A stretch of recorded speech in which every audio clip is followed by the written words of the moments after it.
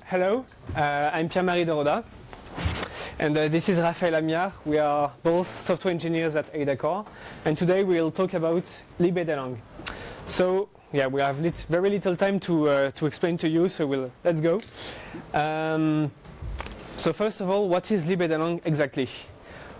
Well, in just three bullet points, uh, libadalang is a library and we wanted to allow people to uh, get insight about Ada source code and also to modify it. For this, we want to offer both uh, high and low level APIs. So by low level, we mean some small details like, okay, what is the location of this token? Uh, what is the token under this location? Things like this. And also we want high level APIs such as, okay, what's the type of this expression? Or can you please rename this type and all use uh, occurrences of this type.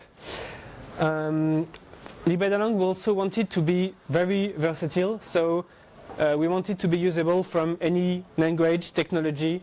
Uh, so for this, so libadalang is an Ada library.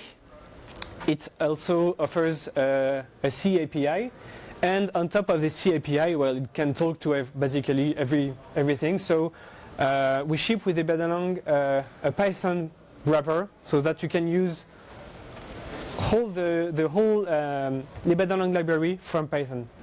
So this offers an interesting feature, which is uh, you can basically you, you, have a really short, really short path between having an idea and writing a tool because you can do a quick prototype in Python.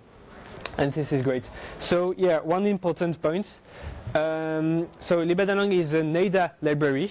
Uh, we are going to present you some examples that will be written in Python because it fits in slides. But everything you, you will see in Python can be done in Ada, of course. Let's go.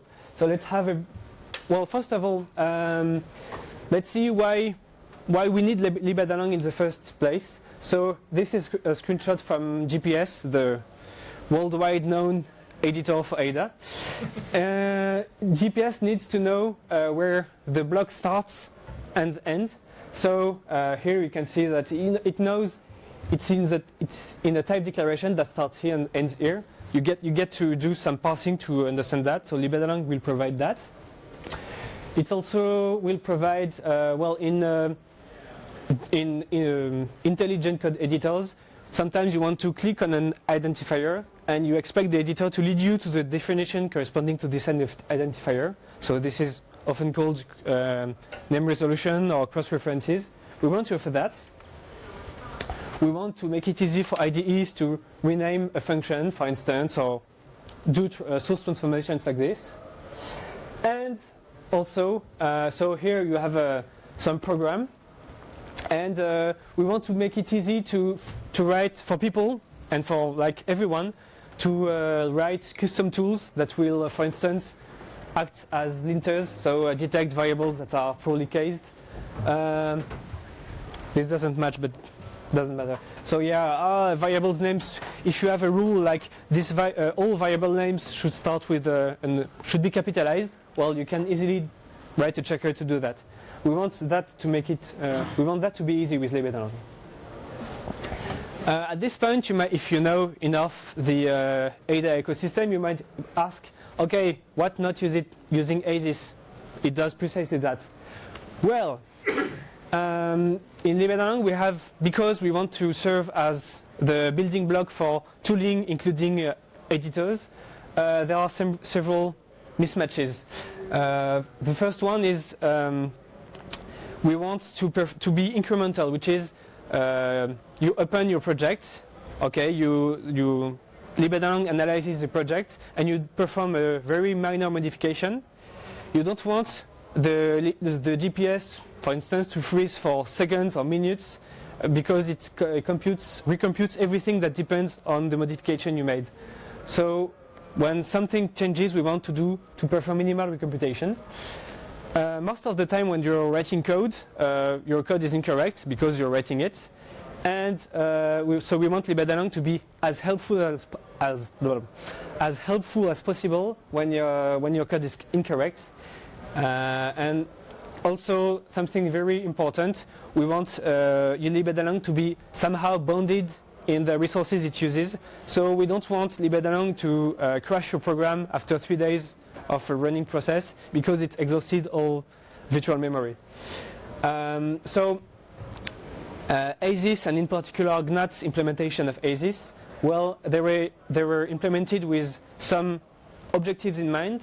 Here we have a different, we have needs that uh, kind of contradict them. So Gnat and ASIS are not are poorly suited for uh, for what we need.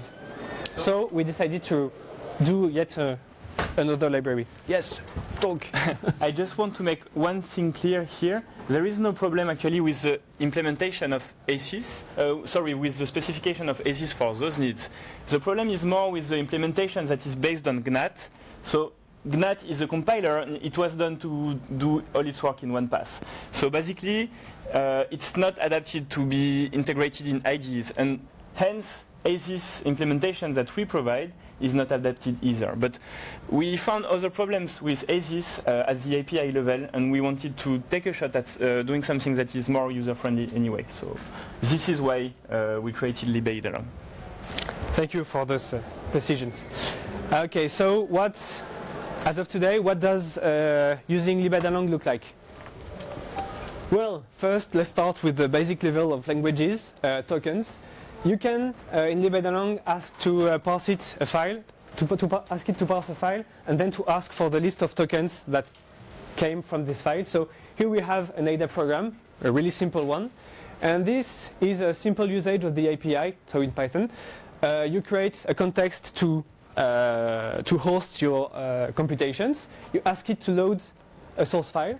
And then, so you take your analysis unit and you take the root node of it and you ask for the list of tokens corresponding to this root node, and you print them, all of them. So this is the result.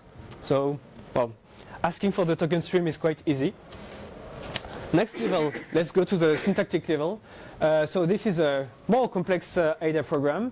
Well, you can ask here to, so you take the root node of your analysis unit, and here you ask, okay, find all nodes that comply to this predicate. So this is a type. So find all nodes that are object declar declarations, uh, print their sloc, well, source location ranges, and their text. And so this is the result. So again, something useful. Uh, so per yeah, performing uh, this kind of query is useful, for instance, for linters.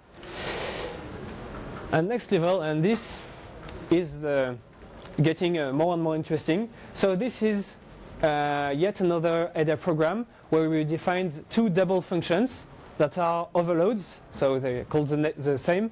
They only differ by their signature. So one of them takes an integer, returns an integer. The second one takes a float and returns a float.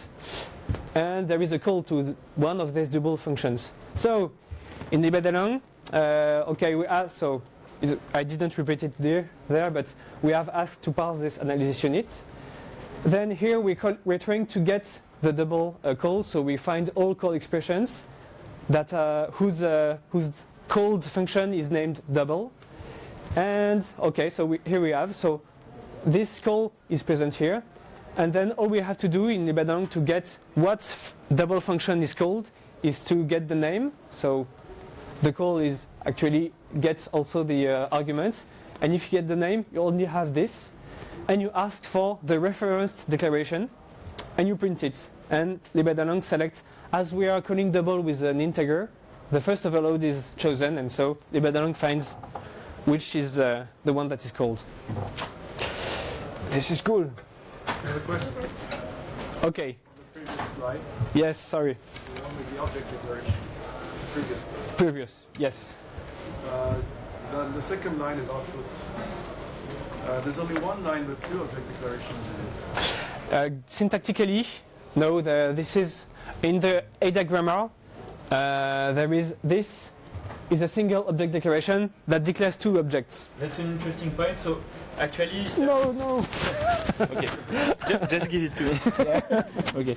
So uh, that's an interesting point. In the ADA grammar, uh, syntactically, you have one object declaration uh, uh node, but uh, indeed, uh, semantically, you have two.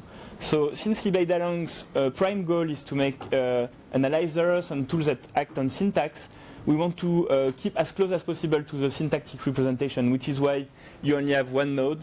Uh, we don't modify the tree after par uh, parsing or stuff like that, which is another thing that is difficult with GNAT and ASIS because they are compilers, they want to emit code, so they might get rid of that representation very early on, and then you don't have access to it anymore. What if I have a reference to C, for example, I want to jump? So for the moment, uh, reference declaration will just give you the whole uh, reference It would be enough, but uh, from C, I have to find the declaration that would. Yes, absolutely. So uh, what we plan to do is to have an API that will also give you the uh, precise uh, identifier that you are looking for. But that, that is not done yet, but uh, it's not too difficult to do. It's planned. Okay. Um, no. Okay. Now, um, so uh, this is uh, being worked as we speak, almost. Uh, so we want also to provide a feature that enables users to actually modify the source code. So here we have um, on the top of the slide uh, an ADA program. And then here, this is the use of the API we intend to, uh, to facilitate with libadalang. So, yeah. so first of all, you, um, so imagine we want to, tur- to turn this into this. So all we have to do is to take the call put to put line and to modify the, the input argument. So first of all, we find the node corresponding to the call. Then we start a rewriting session because um, while we're rewriting things, we want to keep the old thing uh, available for, uh, for, for to help you doing the refactoring. Um, and then, so what you do here is to take to take a kind of rewriting handle to the to the parameter here. And then what you do here is to say, okay, let's rewrite this parameter and rewrite it using a string literal, this one. Then you apply, so that replaces the uh, old the old uh, source code with the new one, and then you're supposed to get this. So we want to provide that, and work in progress. It's pretty far along to be question about that. Uh, Yes. Yeah. Yeah, uh, we are trying to bootstrap ADA, uh, ADA, ADA uh, from uh, very small assembler uh, thing. Uh, I'm part of bootstrappable.org. I don't know whether you know it. Sorry, I don't. I don't I, I'm part of bootstrappable.org and uh, we have problems with ADA. Okay. uh, because ADA is implemented in ADA uh, and you have a self-evaluation problem. And I wanted to ask, uh, is it possible to use this uh, to do transpiling to C or something, for example? I Oh. propose that we answer that at the end. Yes. Because that's a complicated question. Yeah, and a lit, little bit of topic, but yeah, let's uh, let's discuss that after. Um, What would happen if the string hello world uh, appeared twice in the program? For example, in uh, another put line hello world. Uh, so uh, this actually this uh, this example is incorrect because find all returns you a list. So here we we would supposed to be to extract which uh, which found element would be to uh, we would have to work on. So in this example, if there were multiple calls to put line, we would have several several results, and we would have to pick which one we would we would want to rewrite. Uh, so if I, uh, if I can be a, a bit more precise, the way you are finding the node is not by searching for the text, but uh, you have the option to uh, search for precise context. For example, you can say, I want the first call, or I want uh, the call to this function, even if you have another function, but the same string literal. So you have a lot of granularity because you are doing a query on the tree and not on the text itself. So here we say we want the, uh, the first call expression, but you could say something else and get the node that you want to rewrite very precisely. Okay, I'm afraid we'll get out of time. Already out of time. Okay, so uh, this is an example. So if you remember, I um, in the previous slides, I uh, talked about a linter that will check your uh, variable names identifier. This is one possible implementation of it. So it's the whole script. Uh, we just iterate through each given file name. We parse it, and then we check for parsing errors. And if everything is okay, we just look for all object declarations and all identifiers inside object declarations because they can be multiple anyway. And we check the identifier, and if uh, it's not capitalized, we warn about it. So it's really simple. We want it to be really simple to write this kind of tool. And now I will let Raphael talk about uh, more uh, usage example of the library. Yes, sir.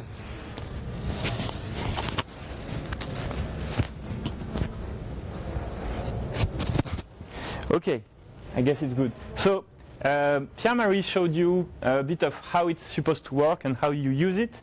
I'm going to show you what we did with it so far and what we will be able to do with it in the, in the, in the future.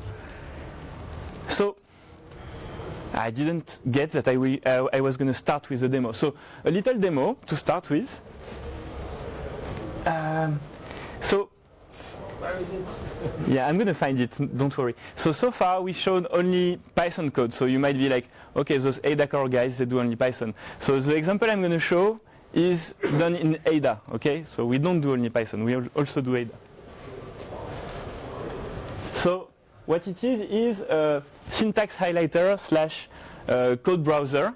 So it's basically a very small subset of the functionalities that you want in uh, an IDE. Okay, so you just it's a command line tool that you launch on your project. Here it's the GNATcov project, and it generates a hierarchy of HTML pages. And then if you click on one of the links, Randomly. Oh, it's so small. Then you get highlighted code. Okay. So basically, this is done with the libadalang API. We highlight tokens in a certain fashion, but we have the tree, so we can do a bit more syntactic highlighting. So, for example, you can see that types are highlighted correctly, etc., etc.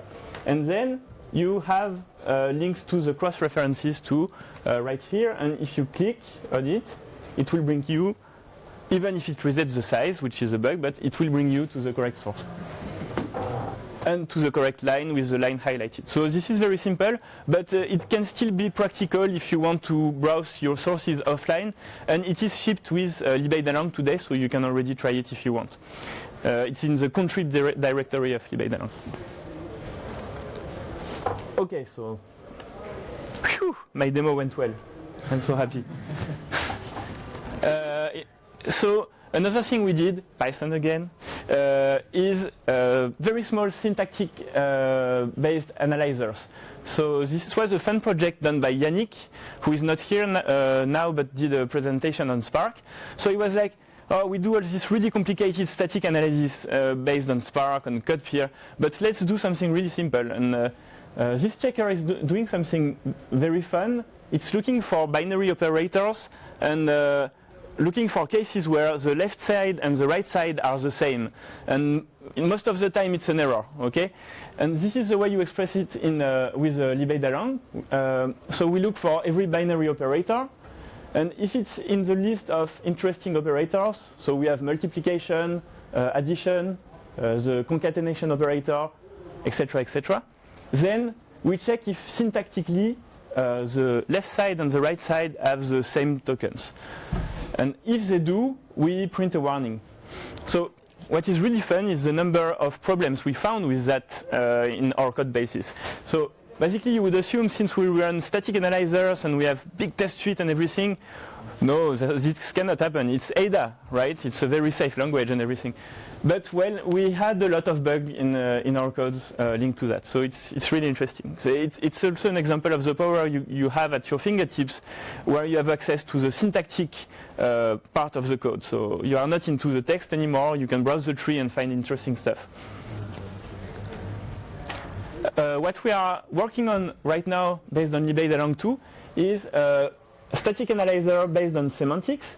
So uh, it's not a full interprocedural analyzer like, uh, for example, CodePeer that we have. Some of you might know about it, but it's uh, less powerful, uh, less ambitious in scope. It allows to you to do uh, interprocedural stuff a little bit like uh, Clang static analyzer. Uh, so here, for example, we have a simple example we, where we have a file and we open it, and I'm going to take that too.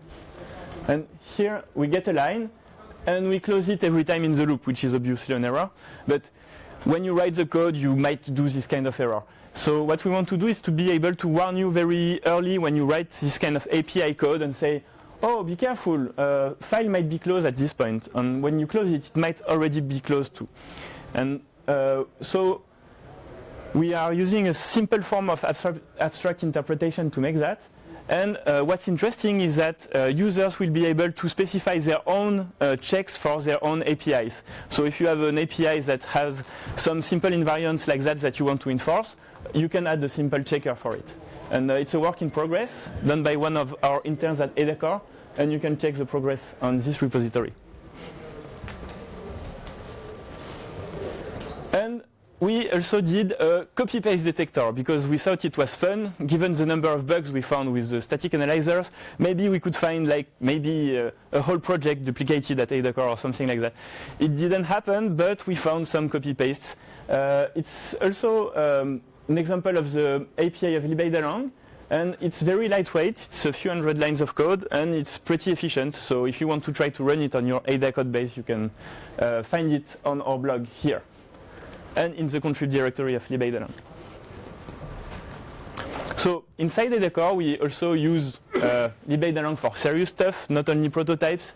Uh, so we are gonna we are in the process of changing the semantic engine of uh, GPS, the main IDE, to use libadalang. So it's a work in progress. It should happen in uh, the following year. And also the new versions of GnatMetric, GnatStub, and GnatPP. So GnatPP is a pretty printer. It uh, goes through your code and pretty prints it. GnatStub generates stub for your subprogram bodies and uh, specs. And GNAT metric gives you some metrics about your code. And all of those tools are based on ASIS for the moment and are being uh, adapted to run uh, on top of libadalang. And outside of AdaCore, we already have some people using it. Uh, some guys are doing uh, instrumentation with it for coverage. some people are doing automated refactoring to make code smaller. Uh, some people are making serializers and deserializers to JSON on top of it. So uh, this is an example of the kind of stuff that you can do uh, on top of libadalang. So in conclusion, uh, if you want to check out libadalang, literally or not, you can go on this URL. You can try it and open issues if you find problems. Uh, the API is still a moving target until we release it at the real product, but uh, it's very stable for some parts, some others are moving, so uh, it depends on what you do with it, I guess. Uh, thank you for listening, and if you have any more questions. I have one word to add. Whoa! Uh, it's uh, if you want to know how uh, libadalang was implemented. Um, beside this, we are doing a presentation at what uh, 1, 1 p.m. tomorrow? I think it's 2 p.m. It's 2 p.m. Anyway, check out for the Langkit presentation in the source code analysis dev room. Yes. Thank you. Thank you very much.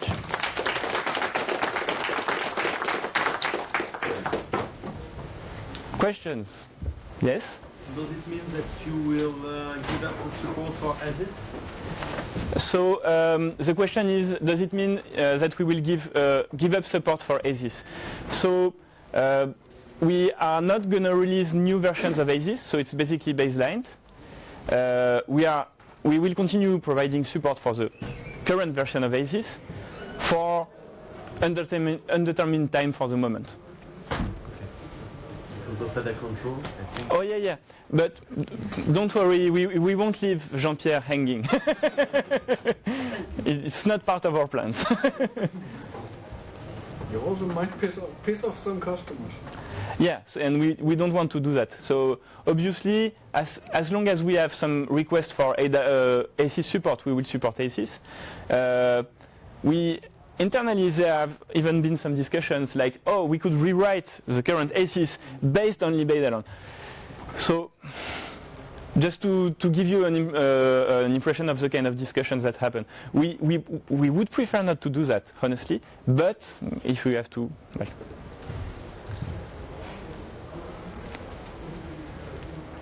Depends on customer pressure. the, the question about the CE Oh yeah. Uh, so yeah. Uh, you had a question which was, uh, could we use libadalang to uh, transpile to C? So anything else. Uh, the, the, the, background is this: uh, that you know Ken Thompson's famous paper about backdooring compilers. Yep. Yes, and uh, it could be that all, back, all compilers are backdoored, and that's why we uh, started a project a while back, uh, which basically starts with us manually uh, uh, toggling switches on the computer and writing a small 200 byte program, which is an assembler, Mm. and then uh, building a tower of languages until we are at GCC, which now works. Okay. Uh, but uh, ADA doesn't work because the ADA in GCC is written in ADA, so it, it fails. Okay. And we try to find a way to I- I think there is one really big thing that is missing in DBDalong is uh, the implementation of uh, execution semantics. I mean, uh, the knowledge, knowledge is, not there for, for now at least. So there's still a huge work to do from starting from libadalang in order to create basically an interpreter or a compiler on top of it. Yeah, It's not really his job to translate to another language for now. yeah uh, So basically, yeah, you have a small part of the front end. Uh, you have the cross references. If you really need the legality checks, you can use GNAT on top of libadalang.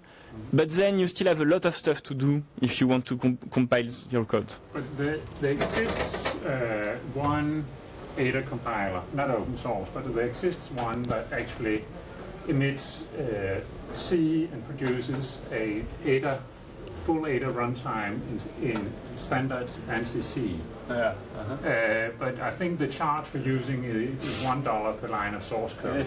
uh, that's the, the, the quote I heard at some point.